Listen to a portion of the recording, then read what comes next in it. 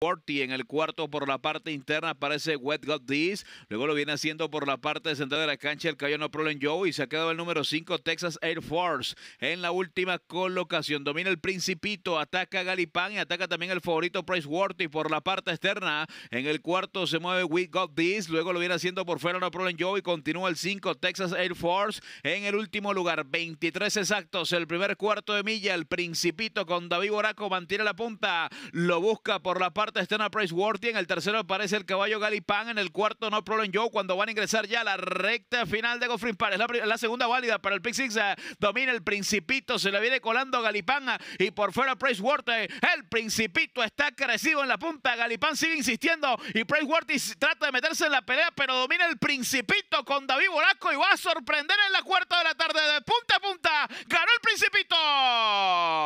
Segundo Galipán. Tercero Price Worthy. Cuarto para No Problem Joe.